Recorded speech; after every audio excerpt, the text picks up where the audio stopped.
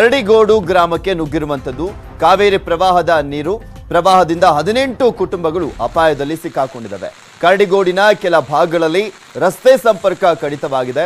ತೆಪ್ಪದ ಮೂಲಕ ಸಂಚಾರವನ್ನ ಮಾಡ್ತಾ ಇದ್ದಾರೆ ಜನರು. ಅಲ್ಲಿ ಒಂದೂವರೆ ತಿಂಗಳಲ್ಲಿ ಮೂರು ಬಾರಿ ಪ್ರವಾಹದ ಸ್ಥಿತಿಯನ್ನ ಎದುರಿಸುವಂತಾಗಿದೆ ಆ ಭಾಗದ ಜನ. ಕಾವೇರಿ ನದಿಯಲ್ಲಿ ಹೆಚ್ಚುತ್ತಾ ಇದೆ ನೀರಿನ ಪ್ರಮಾಣ. ಮಳೆ ಮುಂದುವರೆದ್ರೆ ಮತ್ತಷ್ಟು ನೀರು ನುಗ್ಗುವಂತ ಸಾಧ್ಯತೆ ಇರುವಂತದ್ದು ಸೊ ಹೀಗಾಗಿ ಆತಂಕದಲ್ಲಿದ್ದಾರೆ ಕರಡಿಗೋಡು ಜನರು. ಅತ್ತ ತಿರುಗಿ ಕೂಡ ನೋಡ್ತಾ ಇಲ್ಲ ಅಧಿಕಾರಿಗಳು ಮತ್ತು ಜನಪ್ರತಿನಿಧಿಗಳು.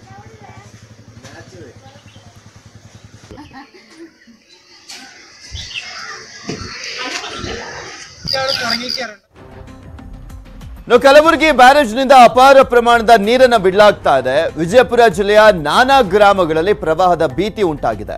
ಭೀಮಾ ತೀರದ ಜನರಲ್ಲಿ ಹೆಚ್ಚಿದೆ ಪ್ರವಾಹದ ಆತಂಕ. ಇನ್ನ ಸೊನ್ನಾ ಬ್ಯಾರೇಜ್ನಿಂದ ಒಂದು ಲಕ್ಷ ಕ್ಯೂಸೆಕ್ ನೀರನ್ನ ಹೊರಬಿಡಲಾಗ್ತಾ ಇರುವಂಥದ್ದು. ಭೀಮಾ ನದಿ ತೀರದ ಸಿಂದಗಿ ತಾಲೂಕಿನ ಹಳ್ಳಿಗಳಲ್ಲಿ ಪ್ರವಾಹದ ಪರಿಸ್ಥಿತಿ ಉಂಟಾಗಿದೆ. ದೇವಣಗಾಂವ್ ಸೇತುವೆ ಬಳಿ ಏರಿದೆ ನೀರಿನ ಪ್ರಮಾಣ.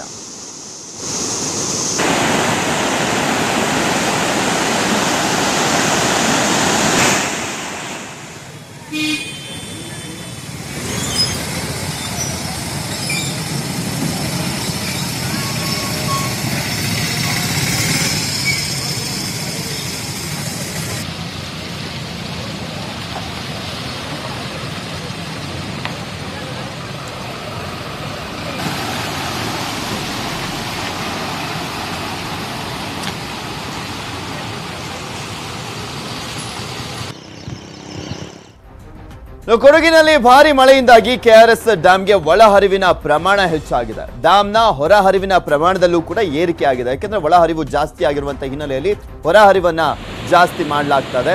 ಕೆಆರ್ಎಸ್ ಕೆಳಭಾಗದ ಕಾವೇರಿ ತೀರದ ಜನರಿಗೆ ಆತಂಕ ಎದುರಾಗಿದೆ. ಇನ್ನು ಮಲೆನಾಡಿನಲ್ಲಿ ಸುರಿತಾ ಇರುವಂತಹ ಭಾರಿ ಮಳೆಯಿಂದ ತುಂಗಾಭದ್ರಾ ಜಲಾಶಯಕ್ಕೆ ಹೆಚ್ಚಿನ ನೀರು ಬರ್ತಾ ಇದೆ. ಇಪ್ಪತ್ತು ಗೇಟ್ ಮೂಲಕ ಐವತ್ತು ಸಾವಿರ ಕ್ಯೂಸೆಕ್ ನೀರನ್ನ ನದಿಗೆ ಬಿಡಲಾಗ್ತಾ ಇದೆ ನದಿ ಪಾತ್ರದ ರಾಯಚೂರು, ಕೊಪ್ಪಳ, ಬಳ್ಳಾರಿ ಜನರಿಗೆ ಎಚ್ಚರಿಕೆಯಿಂದ ಇರುವಂತೆ ಸೂಚನೆಯನ್ನು ಕೂಡ ನೀಡಲಾಗಿದೆ.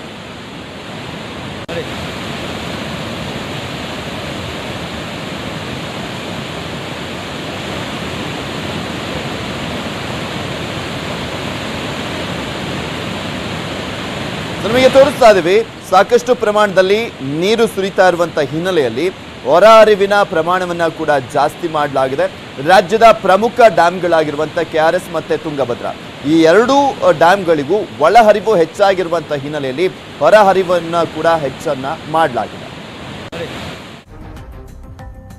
ನಾ ತುಮಕೂರಿನ ಶಿರಾದಲ್ಲಿ ಎರಡು ಮೂರು ದಿನದಿಂದ ಮಳೆಯ ಅಬ್ಬರ ಜೋರಾಗಿದೆ. ಸೊ ಹೀಗಾಗಿ ಕೆರೆ ಕಲ್ಲಹಟ್ಟಿ ಗ್ರಾಮದಲ್ಲಿ ನೆಲ ಕಚ್ಚಿದೆ ಈರುಳ್ಳಿ ಬೆಳೆ.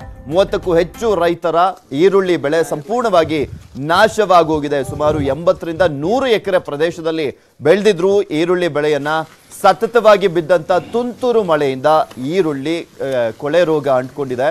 ಅಂದಾಜು ಎಂಬತ್ತು ಲಕ್ಷ ಮೌಲ್ಯದ ಈರುಳ್ಳಿ ಮಳೆ ಪಾಲಾಗಿದೆ. ಪರಿಹಾರಕ್ಕೆ ರೈತರು ಆಗ್ರಹ ಪಡಿಸ್ತಾ ಇದ್ದಾರೆ. ಇನ್ನೇನು ಕೈಗೆ ಸಿಗಬೇಕಾಗಿತ್ತು, ಆದರೆ ಅಷ್ಟರಲ್ಲಿ ಮಳೆ ಸುರಿದಂಥ ಹಿನ್ನೆಲೆಯಲ್ಲಿ ಎಲ್ಲವೂ ಕೂಡ ಕೊಳ್ತು ಹೋಗ್ಬಿಟ್ಟಿದೆ.